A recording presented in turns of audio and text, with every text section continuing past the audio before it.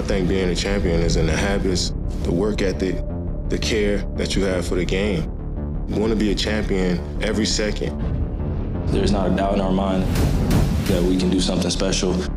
We have a good group and we're all sacrificing something that's bigger than ourselves.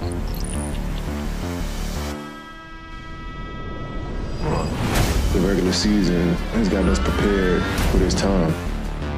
Taking each and every day we're together, having that sense of urgency. Oh my goodness! Are you kidding? That was ridiculous.